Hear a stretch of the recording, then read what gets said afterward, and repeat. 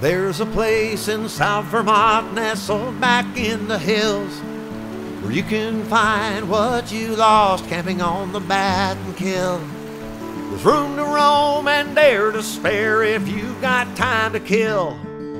Find what you've been looking for camping on the Battenkill. Camping on the Batten like no other place. Ride your bike or take a hike, forget that old rat race. Bring the kids and in-laws and fur babies if you will.